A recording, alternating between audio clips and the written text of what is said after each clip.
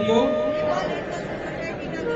सञ्चालन गर्ने समयमा तिहारमा लेखे बमोजिम कार्य गर्न मन्जुर गर्दछु। हाम्रो यो प्रतिबद्धता। अनि एक दुईवटा मात्र हामी भनौँ। रेडक्रस तथा रेड क्रिसेन्ट अभियानका आधारभूत सिद्धान्तहरू बमोजिम कार्य गर्ने। दोस्रोमा जात वर्ण लिङ्ग भाषा, धर्म, राजनैतिक विचारधारा तथा अन्य विचार। राष्ट्रिय, जातीय अथवा सामाजिक।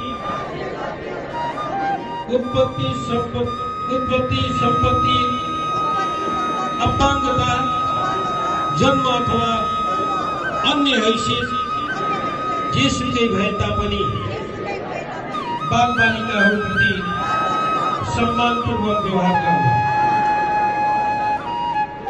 क्रमशः छँदैछ आ- आफआफ्नो नाम सुदर्शन नेपाल।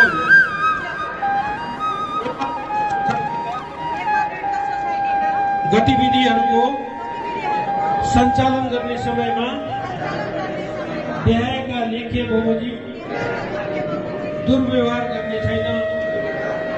भन्ने मन्जुर गर्दछु। र यस्तै गरी बाल संरक्षणमा पनि हाम्रो छ। र त्योभन्दा अगाडि यसका दुई एक दुईवटा बुदा मात्रै म यहाँ राख्न चाहन्छु। यसैमा दुर्व्यवहार रोकथाम सम्बन्धी आचार संहिताको पहिलो बुदा छ व्यक्तिको निजी जीवनसँग सम्बन्धित प्रश्नहरू गर्ने। व्यक्तिको नाममा खेल खेल्ने खेल्नु। उपनाम बोलाउनु उदाहरणको लागि डार्लिङ यस्तै गरी धेरै बुदाहरू छन् र यसमा सबै हामीले बुझिसकेको कुरा भएको हुनाले मैले यसलाई रिपिट गर्न चाहिनँ यहाँ साथीहरू सबैले यसलाई अवलम्बन गरिसक्नु भएको छ बुझिसक्नु भएको छ। अन्तिमलाई यसैमा नेपाल रेडक्रस सोसाइटीका गतिविधिहरूको कार्यान्वयन गर्ने समयमा सामान्य विवेकको प्रयोग गर्न र दुर्व्यवहार भनी ठान्न सकिने क्रियाकलाप अथवा व्यवहारबाट जोगिने जिम्मेवारी ममा छ भन्ने